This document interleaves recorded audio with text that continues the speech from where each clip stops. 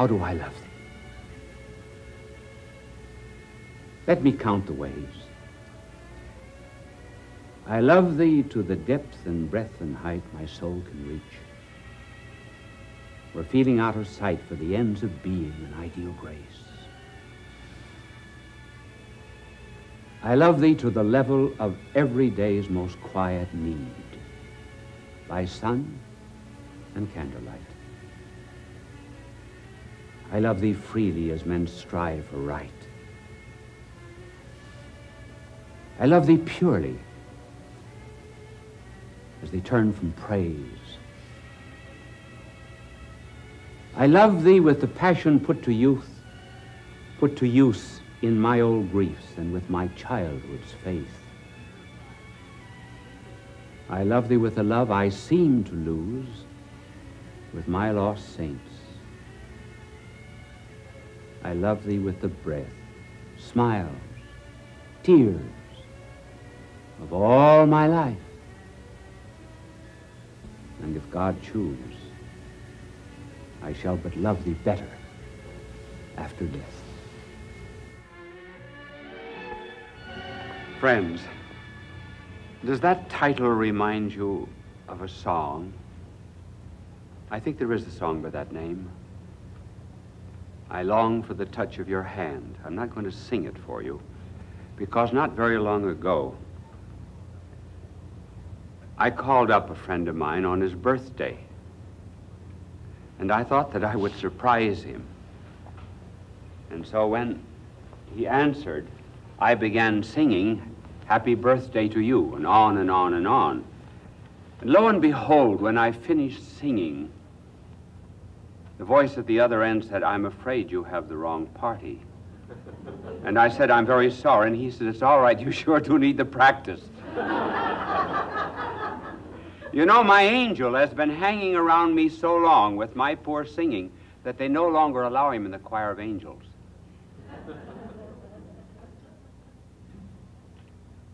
We've chosen this particular title because it is one of three degrees of communication. When do we begin to enter in communication with anyone? There are three ways. First of all, we would never know that anyone loved us unless he told us so. Speech is the first communication of love. As soon as we hear a person speak, we know something about him.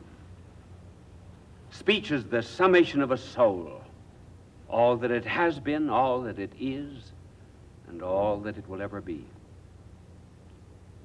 Just turn over the pages of some great writer of the ancient past, Plato, for example. You know something about him just by listening to his words. We hear someone speak and we say, oh, he's a kind man. He's a cruel man. Or he's selfish. That's the first degree of intimacy. Now there's the second. It is vision. We not only want to hear words of love, we want to see them born on human lips. We want to see the flash of an eye the earnestness of a visage. And so love, therefore, must not only be heard, but it must be seen. It was therefore natural to have a development in this industry from radio to television. Radio is the Old Testament. We hear about love. Television is the New Testament. We hear it and we see it. But is that all that love can do? There is still one other degree of communication, and that is touch.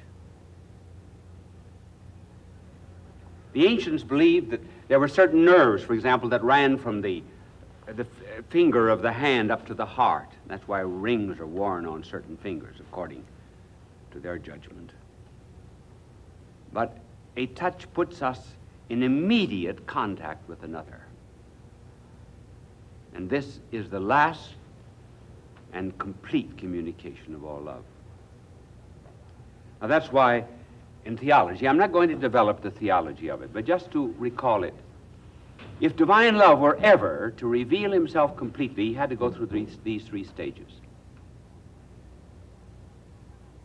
We would never know anything about, for example, the love of God unless he told us so.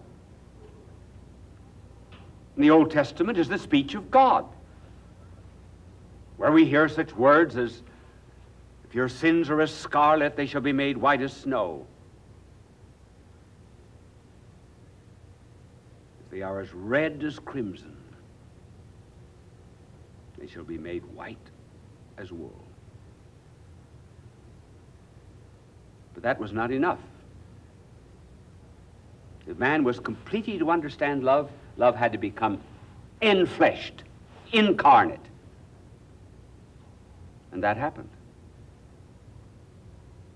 God was seen in a thousand different attitudes of love. We're embarrassed to pick out which best revealed that love visible. He that seeth me seeth the Father. But the depths would not be sounded unless there was touch. So he put his arms around children. And Thomas put finger into hand. And hand into side. To be healed of his doubt. So there was nothing more that love could do. Spoke, was seen and was touched. Now, out of these intimacies, we're going to choose one. And for what purpose? For a purpose you would not generally suspect from the title. We hear a great deal today about civil rights, social justice, conflict of races and classes and peoples. And we try to meet all of these conflicts with abstractions. That's not enough.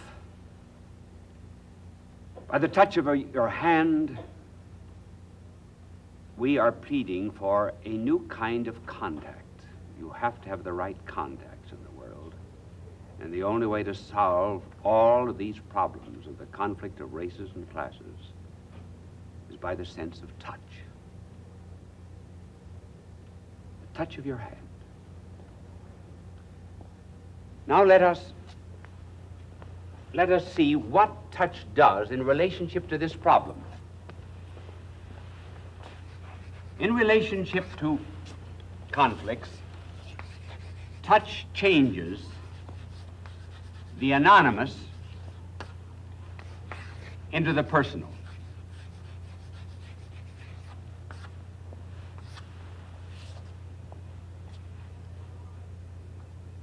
So long as we stay away from people we can call them a they.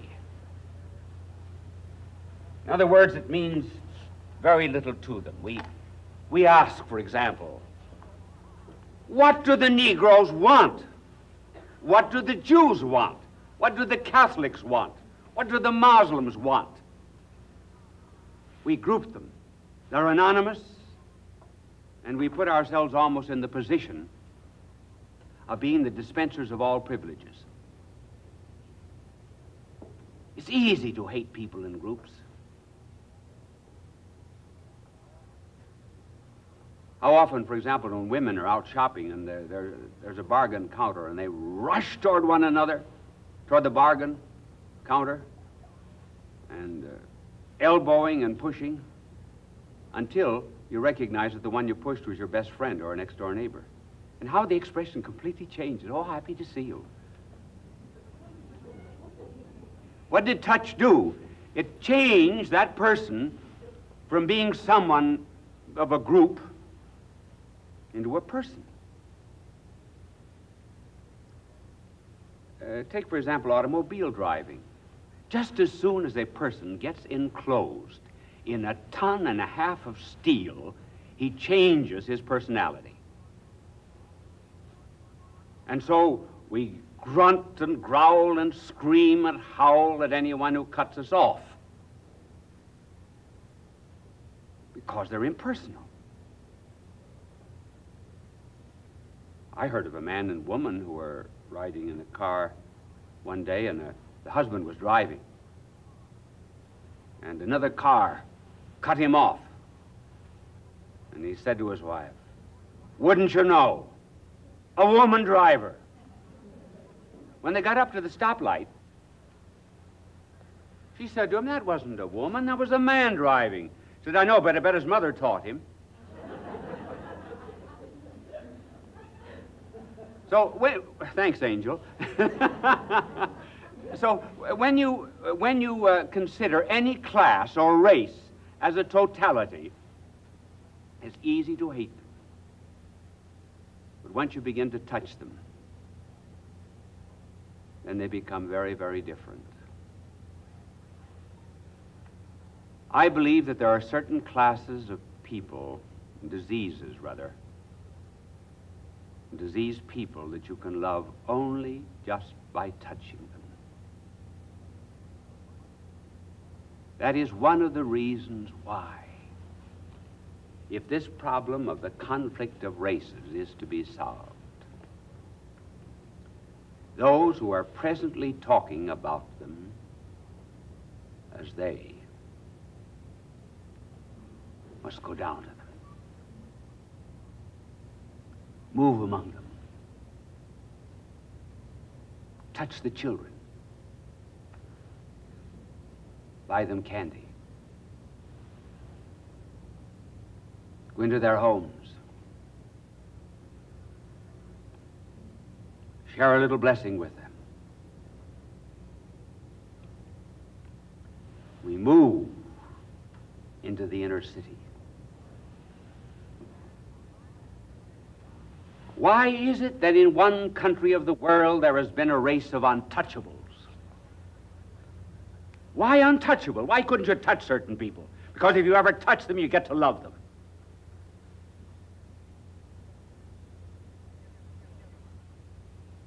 We never find people unlovable once we really get very close to them. And so this is the first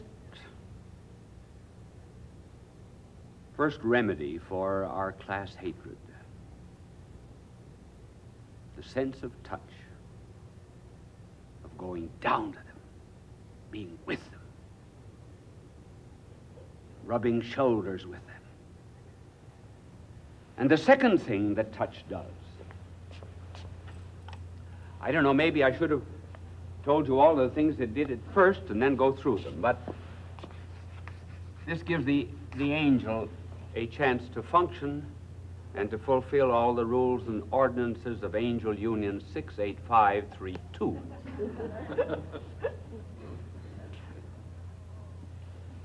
Touch also serves this purpose. The purpose of infection. But the infection of what? The infection of goodness.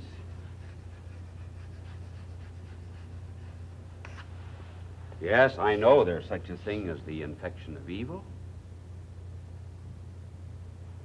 So certain diseases are quarantined. We have to stay away from certain plagues and infections. But when we touch people, there can also be the contagion of goodness. There will be something good that will go out to us, from us, and there'll be something good that will come from them. Goodness works both ways. It's a kind of exchange. Remember the, uh, the story of the woman who, in a great crowd, that was pressing about our Lord said within herself, If I but touch the hem of his garment, I shall be healed. Just touch the hem. Touch. It was hope, like a sick patient has when the doctor enters the room. And what did he say? He turned around and said to the woman, I, I felt a power go out from me. Goodness, healing, pass from himself into others. As we then move in the inner city, among the poor, and go down to them, we infect them with love. In this beautiful communication of kindliness. The poor always have their hands out like that. Open. And those who have another kind of goodness have their hands like this. The giving. They meet. And one hand, as it were, infects another. Babies generally have their hands closed, little fists. They come into a world ready for possession. But when they die, their hands are open. I don't know whether it's true or not, but I've heard it said. Just ask anyone to stretch out his hand, and you can tell something of his character. I don't know whether this is true or not, but at any rate, I must tell you that I got started. They say that if a man reaches out his hand and he holds it like that, fingers closed together, and there's no, no cup in his hand, or not much of a cup to hold anything. He's tight. He's avaricious. I don't know, try it sometime. Want to send me a dime for the, for the poor of the world? How did you put out your hand? That way or this way? But there is the healing will come from love. Now, let me try to illustrate this in another way, negatively. And I think we'll call it. I'm going to write it on the board so you will know it. We're going to call it lack love. Just one word. What happens when there's lack love? No touch of any kind. No radiation of goodness. No infection of mercy. Well, let us apply it to children. Some years ago, there was a study made of 10 orphan asylums in the United States. 10. Only one child out of all that were in the 10 institutions that was brought in under the age of one survived to the age of two. Only one out of 10 orphan asylums. Why? There was no touch of the hand. There was no loving. It is said that a mother has to pick up her child many times a day. Maybe that's one of the reasons why babies cry. Tradition has it that I did nothing but cry for two years, first two years of my mortal life.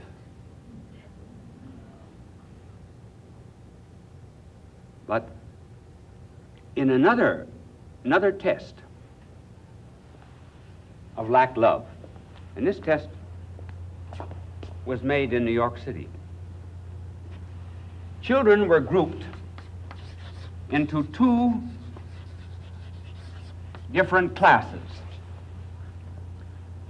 One was called the nursery. The other was called the foundling. Now, let not the words be associated with any any particular thing. These were just nomenclatures. In the nursery, All of the children were cared for by the mothers. In the foundling, there was only one nurse for every 10 to 12 child, children. So that the, in the nursery, there was mother care and love. In the foundling, there was very little of it. At the end of two years, the doctors reported that the children in the foundling could neither walk nor eat by themselves. And one doctor described them as apathetic idiots. At the end of five years, all of the children in the nursery were alive, and 39% of the foundlings died.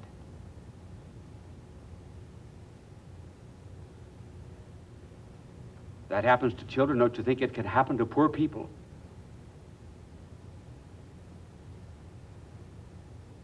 Where there's lack love? There was a test made on, on monkeys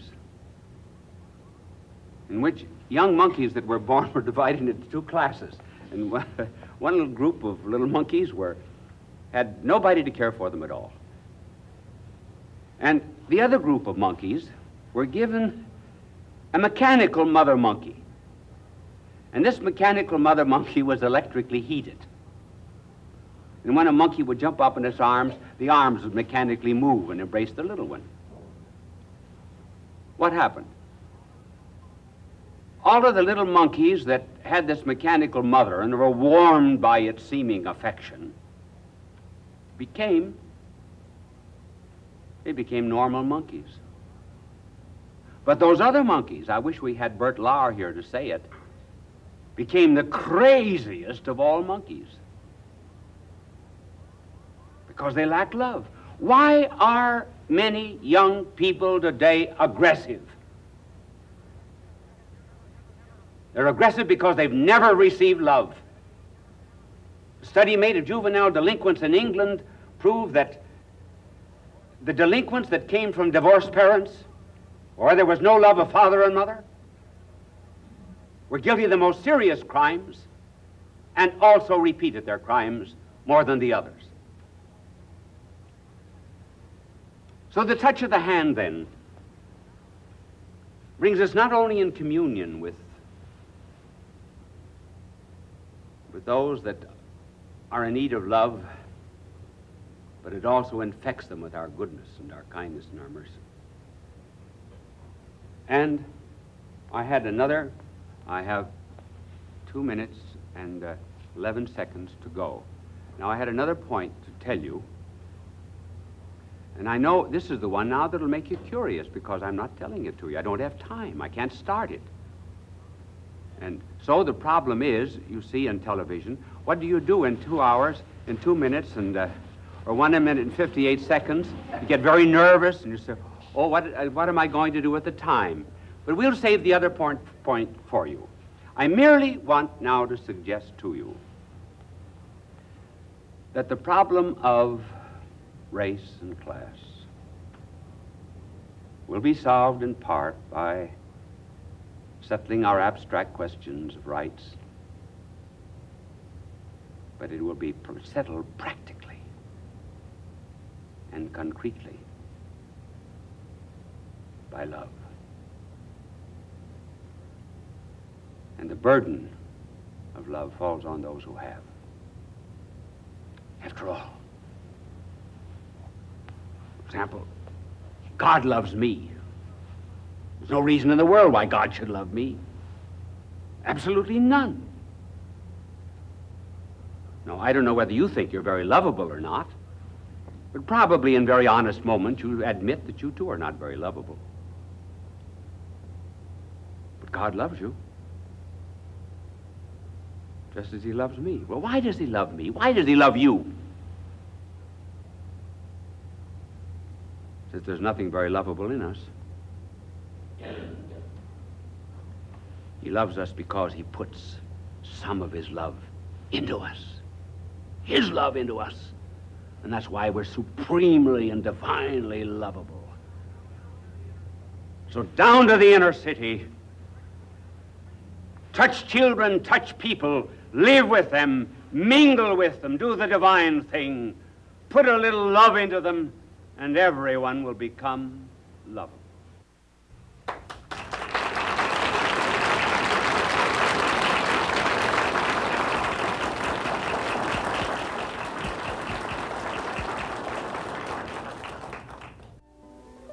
Bye now, and God love you.